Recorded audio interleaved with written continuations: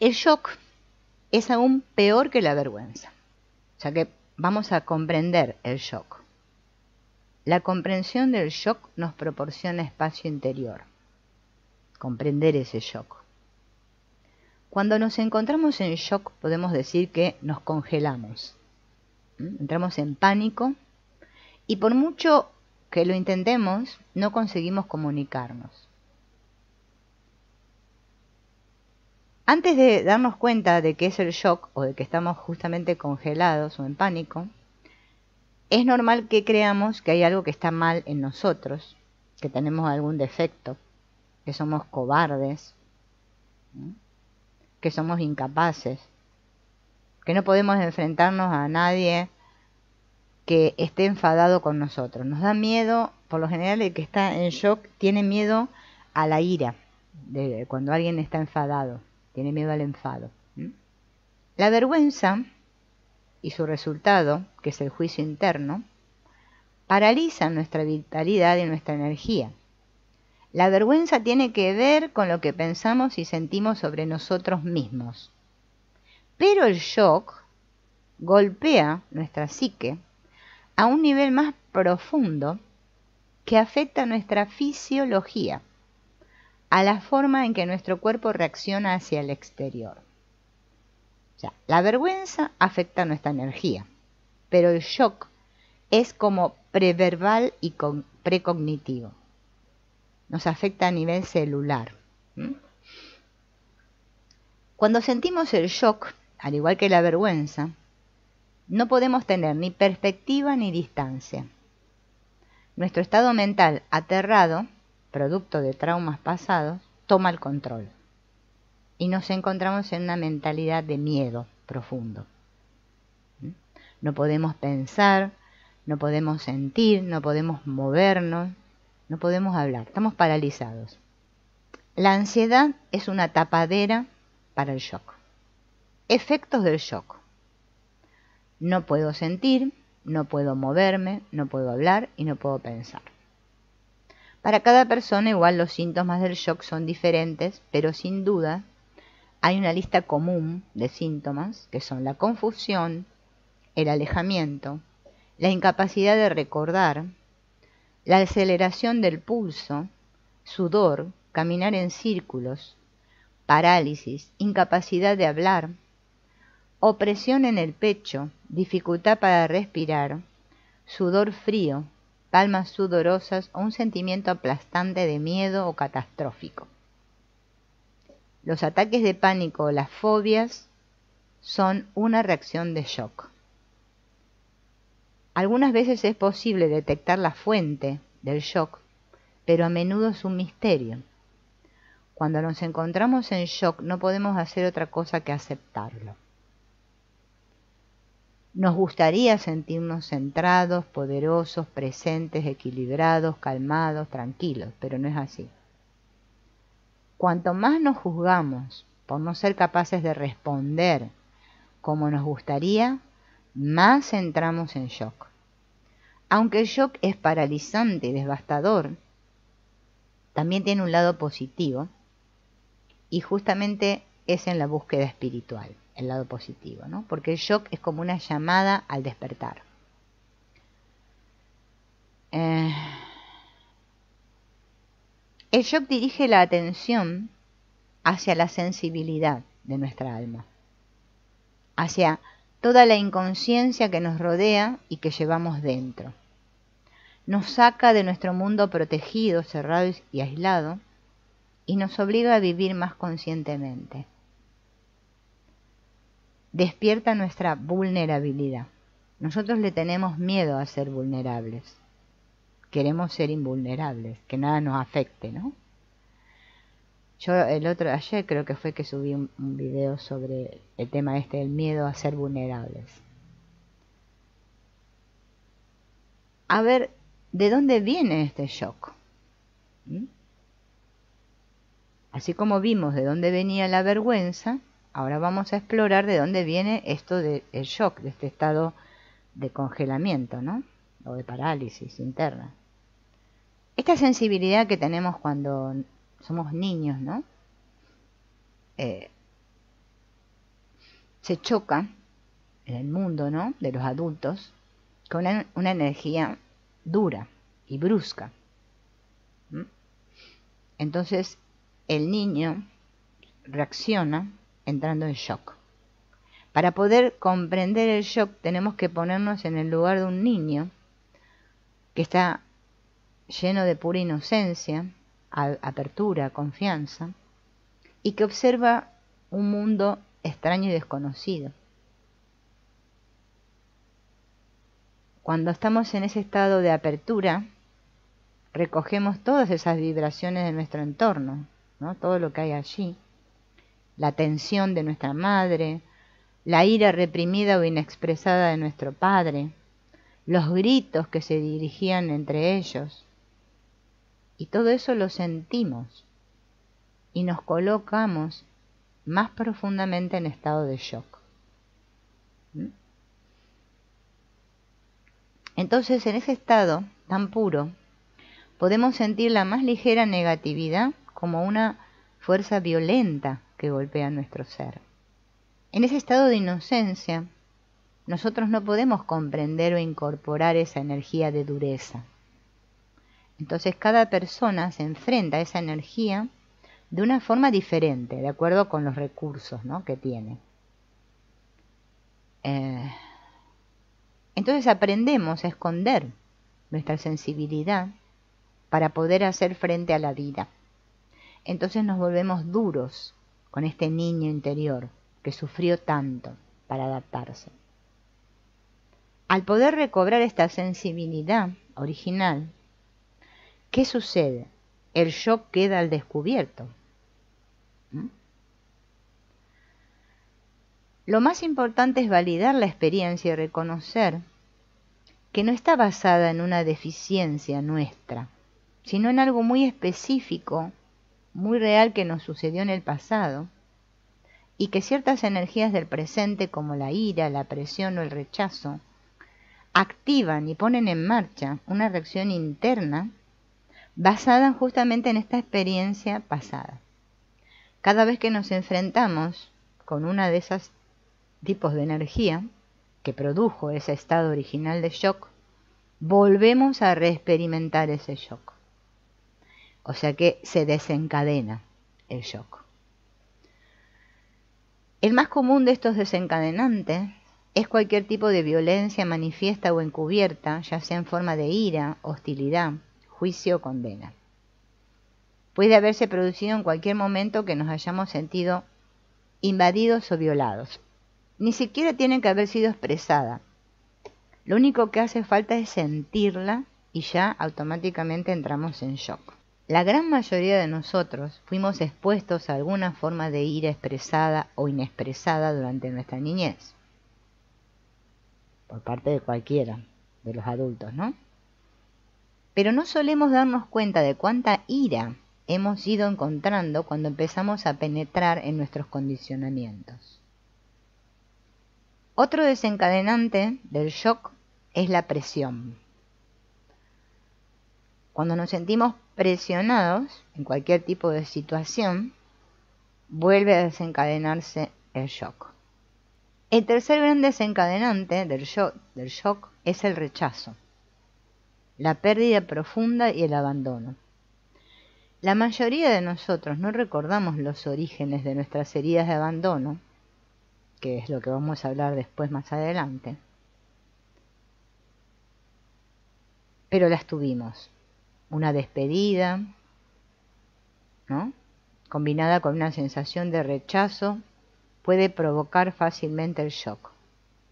La experiencia de una pérdida de un ser querido abre un lugar dentro de nosotros que nos lleva a entrar en ese núcleo de dolor de nuestro niño interior, pero también en un vacío de nuestro ser que se encuentra en la raíz de nuestra alma. Otro, o sea, el cuarto detonante que puede llevarnos al shock es la condena o la crítica. ¿Mm? La mayoría de la gente está tan acostumbrada a vivir con el miedo y con la condena que es como que los dan por supuesto, sin darse cuenta de lo profundamente que llevan a su niño interior al estado de shock. gran parte de nuestro comportamiento tiene por objetivo evitar la crítica o reaccionar a ella. Otro desencadenante del shock se produce cuando recibimos mensajes contradictorios de los demás. Por ejemplo, nos dicen que, que tenemos que reírnos o que deberíamos hacer lo mejor que sea para nosotros, pero hay un mensaje subyacente que hagamos lo que se espera que hagamos. O sea, me aconsejan de que haga lo mejor para mí, pero en realidad por debajo hay otro mensaje. Mensajes contradictorios como este nos llevan a un shock profundo, porque no sabemos qué dirección tomar. Entonces ya dejamos de confiar en nuestros propios sentimientos. Perdemos el sentido, dentro y fuera. El sexto desencadenante del shock es el comportamiento impredecible, irracional o histérico. Estas son personas que justamente eh, de niños tuvieron experiencias con sus padres que sus padres reaccionaban con ellos de forma histérica o irracional y los niños no entendían. Esto causa el shock en nuestro niño interior. Eh, no podíamos confiar ¿no?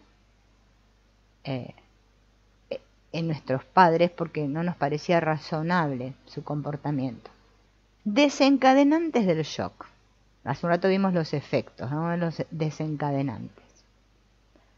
La violencia manifiesta o encubierta, la presión, la pérdida o abandono, la condena o la crítica, los mensajes contradictorios y la histeria o la locura. ¿Quién no ha pasado por alguno de estos cuando niño? El shock afecta a cada uno de nuestros centros energéticos, aunque parezca increíble.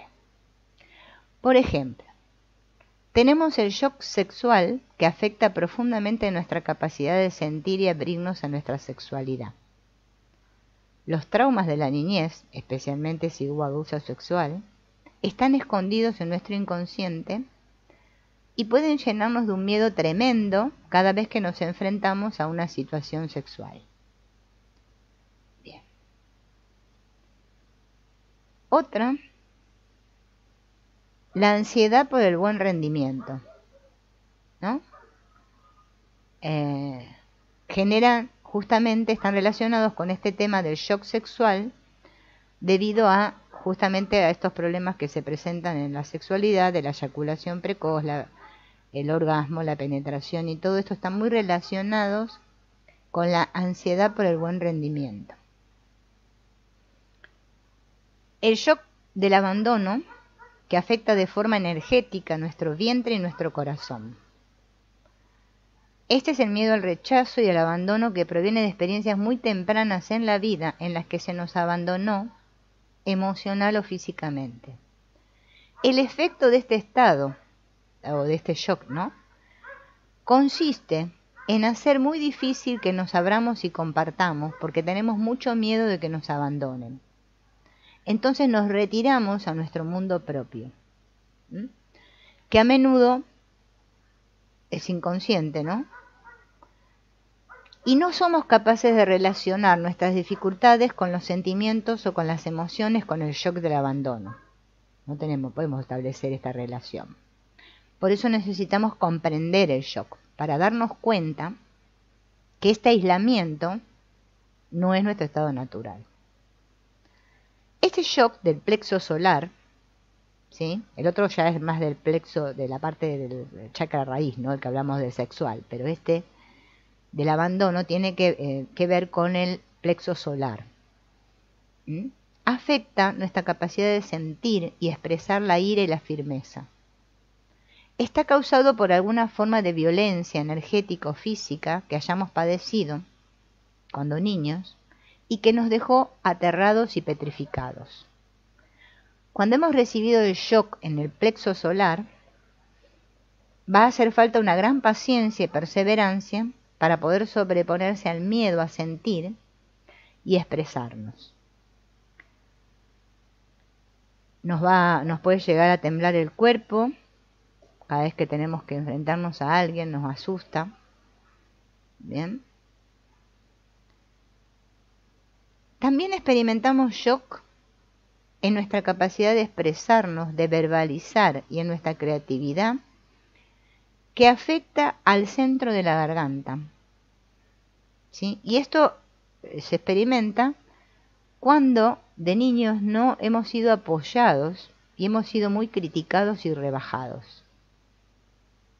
La energía se queda atascada en la garganta y no la podemos sacar. Es una situación frustrante.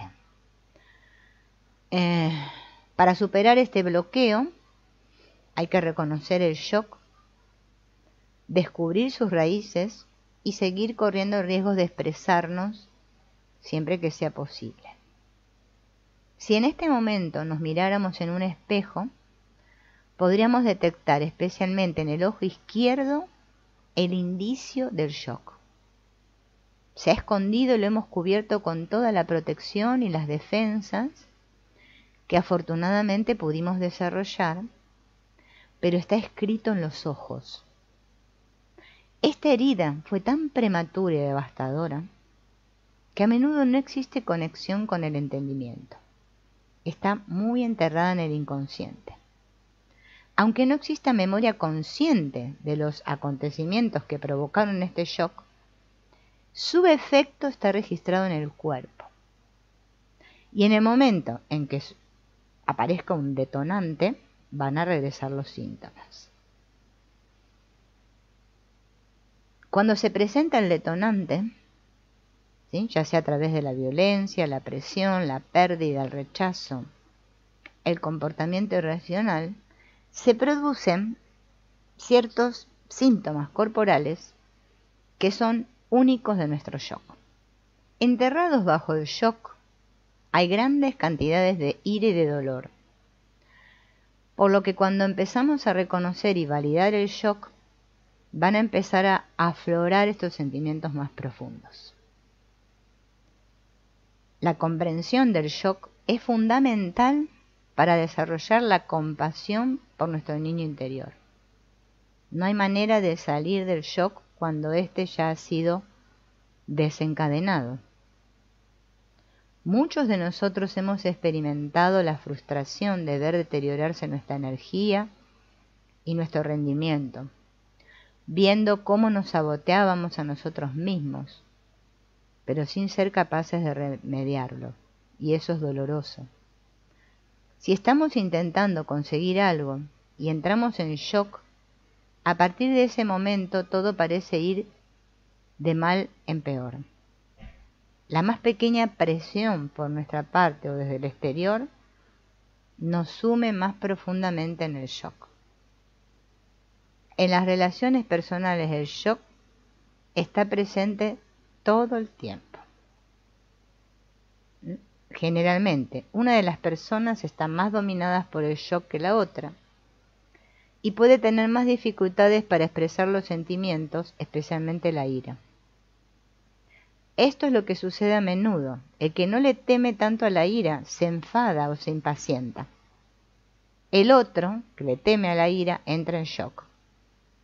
La persona enfadada desea ver una reacción y normalmente busca recibir como respuesta ira u otra energía similar. La presión lleva a la persona que se encuentra en shock a un estado de shock más profundo. Este tipo de espiral descendente puede darse en cualquier situación en la que una persona busca obtener algún tipo de energía de la otra. A menudo sucede en el sexo. La persona en estado de shock se siente abusada o presionada y encierra su energía y no puede evitarlo. Pero si no valida y expresa lo que le sucede, el otro se siente desconectado y alucina. Entonces ambos alucinan. La curación no puede conseguirse con ningún tipo de manipulación mental. Solo se consigue validando el estado de shock y expresándolo. El shock también nos hace pagar precio cuando intentamos ser creativos o correr riesgos en áreas que no nos son familiares. La mínima crítica o presión pueden provocar el shock. Y aunque entendamos perfectamente lo que nos está pasando dentro, podemos continuar estando paralizados.